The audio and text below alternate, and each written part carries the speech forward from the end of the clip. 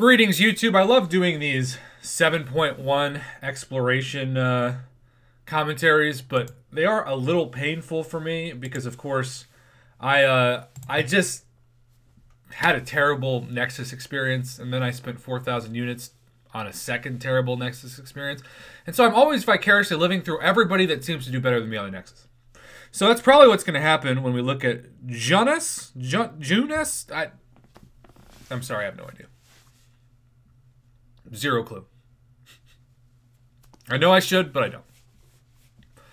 So we are starting with a mutant catalyst. And does that form a mutant catalyst? It does. Okay, so we have seen the algorithm, when that happens, give the crystal the same class. Because since you just formed one, it's like the least likely to form the next one. And the crystal is notorious. And here's to looking at those of you watching this nodding your head because you've got four straight five star tech awakening gems or mystic or science or whatever. That's what the algorithm does. It kind of determines what you need least and then gives it to you. We've seen that confirmed over and over again, and even in certain ways in the Kabam support language of help tickets. Uh, okay, so he's got a mutant. Uh, I guess he's rooting for tech next. He's got about half a tech. Yeah, a little bit more than half a tech ready to go. But no matter what he gets, it's it's not going to be.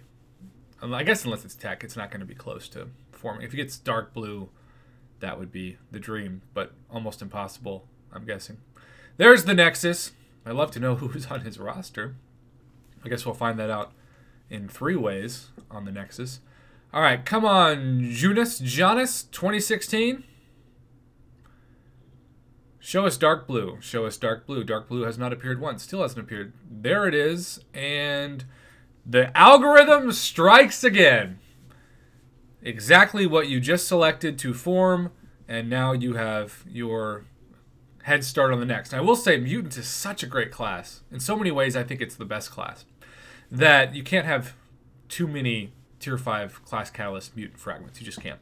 All right, let's get ready to. Uh, oh, he's he's faking out the real. He's looking at me, thinking like, yeah, Prof uh, rushed into this and, and he got absolute trash. Let's let's not be a prof. Let's be better. I support that. All right, let's get ready to pause this. Vegan Thor. Oh no. I mean, I guess Prox for synergies. I, I use her with Corvus, but I don't use her in general too long of a ramp up. This looks like my kind of Nexus. At least they're all new. But Vegan Thor, I just can't get excited about him. He's just so middle tier. Prox, same way. And Yellow Jacket, even after the buff, I'm not a big fan of in terms of ranking up. They're all fine for the arena, you know? I'll use them. But are you going to compare Yellow Jacket to Human Torch or Prox to Corvus or Thor to Aegon or Nick Fury or Stealth Spidey? You know, no. So the interesting thing is, who would you choose amongst this pile of mediocrity? I guess I'd go Prox if I had Corvus, and if not, Vegan Thor. I don't. I'd go Prox. I'll just say Prox.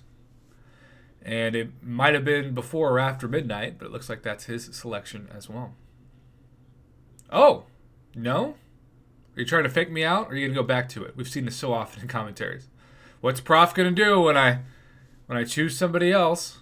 He's really thinking hard about that yellow jacket buff. What do you think, buddy? What do you think? Oh, went with yellow jacket. Would you have done that? That might be a Talos video. Would you have done this? That'll make a fun title for this, because I seriously don't know who would have. I would not have. But that's just me. Alright, now we have ourselves Oh, so he wanted to take Sunspot to rank 3 to become Thronebreaker? Yeah. Okay, that's exciting. He may not be awakened, but he doesn't need to be awakened. Look at that.